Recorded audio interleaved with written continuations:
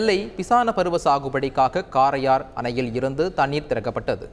சபாநாயகர் அப்பாவு காரையார் அணையின் மதகுகளை இயக்கி தண்ணீர் திறந்துவிட்டார் இன்று முதல் இரண்டாயிரத்து இருபத்தைந்தாம் ஆண்டு மார்ச் முப்பத்தி ஓராம் தேதி வரை தண்ணீர் திறக்கப்படும் என்றும் கன்னடியன் கோடக்கன் பாளையங்கால்வாய் என சுமார் பதினோரு கால்வாய்கள் மூலம் சுமார் எண்பத்து ஆறாயிரத்து நூற்று ஏழு ஏக்கர் விளைநிலங்கள் பாசன வசதி பெறும் என்றும் மாவட்ட நிர்வாகம் தெரிவித்துள்ளது.